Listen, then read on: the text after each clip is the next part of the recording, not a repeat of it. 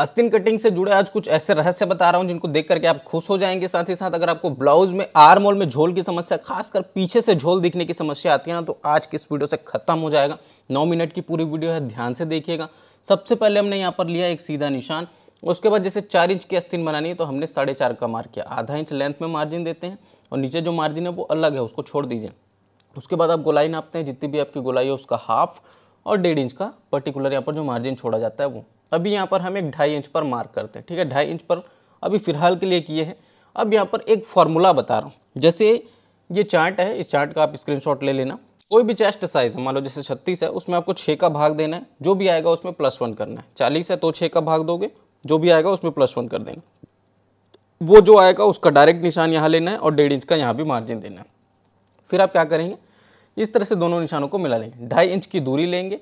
और इस दूरी से आप अस्तिन का राउंडिंग शेप देंगे। इस प्रकार से देखिए, ठीक?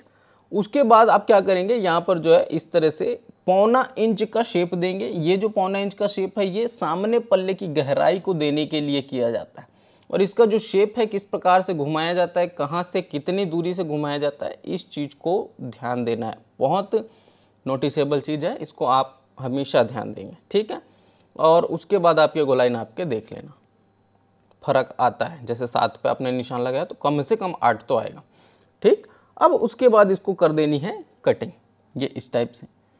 ये ऐसे काट देना। कटिंग करने के बाद यहाँ पर हम ये इस तरह से कुछ कट्स लगाएँगे सेंटर का और साइड का फिटिंग का भी। अब ये वाला जो पीस है मतलब फ्रंट का जो आपका आर्म होल बनेगा, उसको छांट देना है।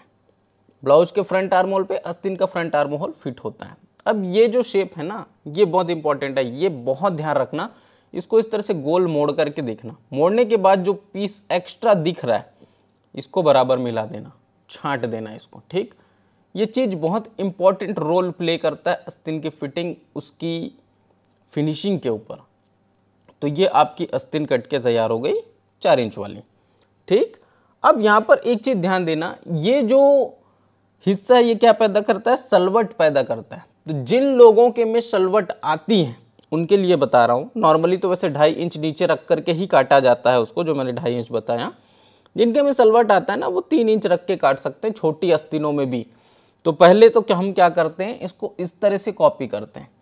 ये चीज़ तब करना जब आपको सलवट की प्रॉब्लम आ रही है। ख़ास तौर से पीछे से सलवट ज़्यादा दिखते हैं, है ना? कोई भी लेडी खड़ी है, पीछे साइड से उसके ब्लाउज में सलवट दिख रहे हैं तो उसका सॉल्यूशन यहीं से मिल जाएगा आपको। ये इस टाइप से रखना अस्तिन का पूरा कंप्लीट सेप और इतना छांट देना, ठीक है?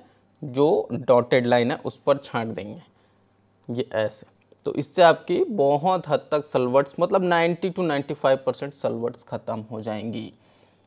उसके बाद ये आपका फ्रंट आर्मोल फिर से छटेगा, ठीक?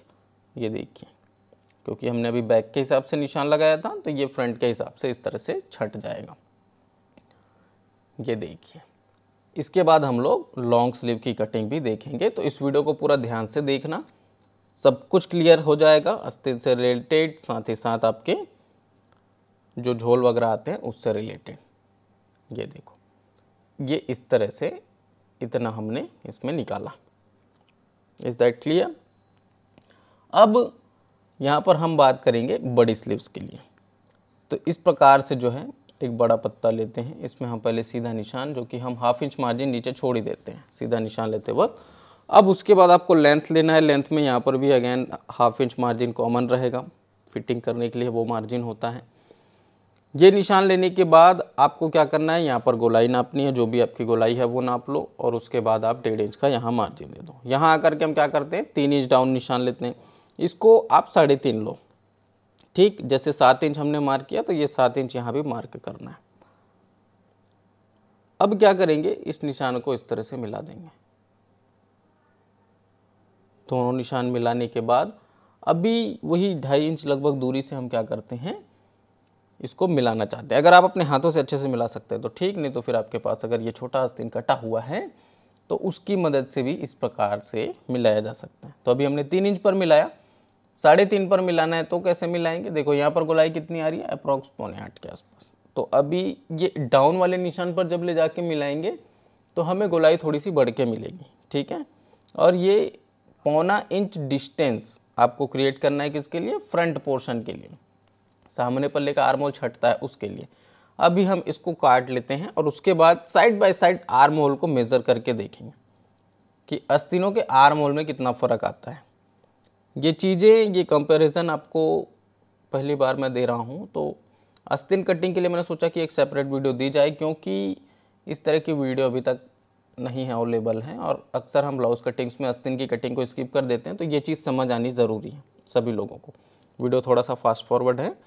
अब देखो, ये फ्रंट हमने छांट दिया है तो ये निशान आपको इसलिए लगा के दिखाया जा रहा है ताकि आपको ये समझ में आए। गुलाइन आपने कितना आ रहा है? अप्रॉक्स पौने आठ। इसको नापते हैं लगभग आठ। इसको नापते हैं आठ से भी ज़्यादा। है ना? तो ये सवा आठ आ रहा है। ये आपका कितना आ रहा है? ये आ रहा है आपका पौने आठ। ठीक है? और ये आपका आ रहा है लगभग आठ इंच। तो तीनों के आर मोल में फ़र्क देखने को मिला। क्यों फ़र्क देखने को मिला? ये वही ढाई इंच, तीन इंच और साढ़े तीन इंच वाले निशान का फ़र्क है। समझ में आ गया? अब कुछ अच्छी और एडवांस चीज़ें बता रहा हूँ। जैसे ये आपका ब्लाउज है, कोई भी ब्लाउज हो, है ना, ज़रूरी नहीं फोर डॉट है, कटोरिया प्रिंसेस, कोई भी ब्लाउज हो। तो यहाँ पर एक चीज़ मैं आपको बताता हूँ, जो आप अस्तिन चढ़ाते हैं, ये सीधा इस तरह से रख के चढ़ाते हैं क्या? नहीं, उल्टा रख के चढ़ाते हैं, है ना, अस्तिन को उल्टा इसके ऊपर रखेंगे और चढ़ाएँगे। तो जब उल्टा रखते हैं तो मैं कहना क्या चाहता हूँ कि आपका जो शोल्डर का ज्वाइंट है उसके पास में आपको एक चीज़ विशेष तौर पे ध्यान देना है, जो कि अक्सर लोग गलती करते हैं, दो इंच उस पार और लगभग लगभग एक आधा इंच इस पार, एक इंच मान लो, दो इंच पीछे पल्ले की साइड में और एक इंच सामने पल्ले की साइड में। मतलब ये टोटल जो तीन इंच का जो फासला है, इसकी सिलाई आपकी बिल्कुल स्ट्रेट होनी चाहिए, एकदम सीधी। यहाँ पर आपको सिलाई को राउंडिंग नहीं घुमाना। अगर यहाँ पर राउंडिंग घुमाओगे तो झोल आते हैं और शोल्डर गिरने की भी समस्या आती है। ये चीज़ मैंने बहुत दिन से बोला था कि एक चीज़ बताऊँगा कि अस्तिन की फिटिंग की वजह से भी शोल्डर गिरते हैं। बहुत से लोगों ने मेरे से रिक्वेस्ट भी किया था। क्या वजह होती है? यही सिलाई आप राउंडिंग कर जाते हैं, जिसकी वजह से शोल्डर के पास फुलाना जाती है और शोल्डर गिरते हैं। ये चार्ट आप नोट कर लेना, स्क्रीनशॉट, और ये जो बुक आपको दिख रहा है ना, ये हमारे से जो पेपर कटिंग्स मंगाते हैं, उन सबको फ्री मिलता है। तो उसमें बहुत सारी नॉलेज है, जिनको मंगाना है डिस्प्ले पे हमारा व्हाट्सअप नंबर चल रहा है। मंगा सकते हो और पेपर कटिंग्स पे भी बहुत शानदार ऑफ़र चल रहे हैं, जिसके बारे में मैं अभी डिस्क्लोज नहीं करूँगा, क्योंकि हो सकता है आप इस वीडियो को दो महीने, चार महीने बाद देखो और आप बोलोगे कि इस सर हमें ऑफ़र नहीं मिला। लेकिन ऑफ़र इतना खास है कि आप पेपर कटिंग मंगाने से नहीं रुक पाएँगे। तो डिस्प्ले पे व्हाट्सअप नंबर चल रहा है, फटाफट से ऑर्डर करें, जिन जिन लोगों को मंगाना है इंक्वायरी तो एटलीस्ट करें, उसके बाद आपको ऑफ़र समझ में आएगा, फिर लगता है तो मंगाएँ, नहीं तो कोई दिक्कत नहीं है। सात दिनों के अंदर अंदर कैश ऑन डिलीवरी पे हंड्रेड परसेंट फिटिंग गारंटी के साथ और बहुत ही शानदार ऑफ़र है, जिनको पता है, वो तो मंगा चुके हैं, जिनको नहीं पता इंक्वायरी करें और मंगाए फटाफट से। लिमिटेड टाइम के लिए है, इसीलिए मैं ऑफ़र यूट्यूब पर डिस्क्लोज नहीं कर रहा हूँ। ये इस प्रकार से हम इसको बराबर काट दिए। कपड़े पर काटने का उद्देश्य क्या है? कुछ चीज़ समझाना चाहता हूँ। जैसे देखो, ये आपकी अस्तिन कट गई, अस्तिन का फ्रंट पोर्शन भी काट लेते हैं। इसको काटने के बाद देखो, मैं समझाना क्या चाहता हूँ? जैसे आपका ये पोर्शन कट गया, है ना? ये फर्मे पे ही काटना है और उसके बाद कपड़े पर कॉपी करना है। फिर ये वाला हिस्सा आपका फोल्ड हो जाता है। अभी ये वाले हिस्से को बार बार आपको मतलब चेक करके देखना है कि ये जब कटिंग होती है, उसके बाद ये राउंडिंग जो अंडाकार जो शेप आ रहा है, वो आ रहा है कि नहीं? यहाँ पर का जो गैपिंग आपने जितना लिया था, उतना आ रहा है कि नहीं आ रहा है? अगर ये सब कुछ आ रहा है देन आपको कोई भी प्रॉब्लम नहीं है किसी भी प्रकार की। और इस तरह से आप बैठा करके देख लेना, कट टू कट मिलना चाहिए। तो आई होप आपको ये वीडियो पसंद आया होगा। वीडियो पसंद आया तो उसको लाइक करें शेयर करें। और मैं राजन आपसे फिर मुलाकात करता हूँ किसी नए वीडियो में, नए टॉपिक के साथ। तब तक के लिए जय हिंद, वंदे मातरम।